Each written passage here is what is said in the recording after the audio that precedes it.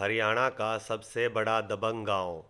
इस गाँव के ग्रामीणों की जाबाजी व चौधर के चर्चे हमेशा ही बने रहे हैं, क्योंकि इस गाँव के ग्रामीणों ने कभी भी अंग्रेज़ों व किसी राजा को लगान नहीं दिया। यहाँ के ग्रामीण किसी सल्तनत के आगे नहीं झुके, और हमेशा ही उन्होंने बहादुरी व जज्बे का परिचय दिया है। यहाँ के ग्रामीण खुद ही अपनी सत्ता में विश्वास रखते हैं। इतिहास में लिखा है, यह गाँव एक हज़ार साल पहले बसा था, और यह गाँव कई बार बसा व कई बार उजड़ा है, मगर चौदह के बाद गाँव स्थायी रूप से आबाद हुआ है। रतेरा से आकर बसे घन घस गोत्र के लोगों ने इस गाँव को चौदह में यूँ आबाद किया कि वह फिर कभी नहीं उजड़ा। इस गाँव में तीन पंचायतें हैं, जबकि उन्नीस से पहले गाँव में मात्र एक पंचायत थी। इस गाँव की आबादी बीस हज़ार से ज़्यादा है। इस गाँव में करीब दस हज़ार मतदाता हैं। हैं हालाँकि लोकसभा क्षेत्र की बात करें तो यह गाँव हिसार लोकसभा क्षेत्र के तहत आता है।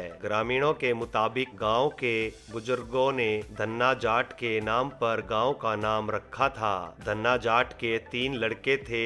उनके तीनों बेटों के नाम पर गाँव के तीन पाने कल्याण, मलवाण त्याड़ पानों का निर्माण हुआ है। इस गाँव में दो ऐतिहासिक भवनों का निर्माण भी किया गया है। एक पुराना बंगला व एक नया बंगला। इस गाँव के खिलाड़ी अंतर्राष्ट्रीय स्तर पर खेल चुके हैं। खेल प्रतियोगिताओं में जीत हासिल कर गाँव की पहचान बना चुके हैं। 80 के दशक में गाँव के भीम सह को दिल्ली में हुए एशियाड में गोल्ड मेडल मिला था। ये पहले ऐसे खिलाड़ी थे जी मेडल प्राप्त किया था।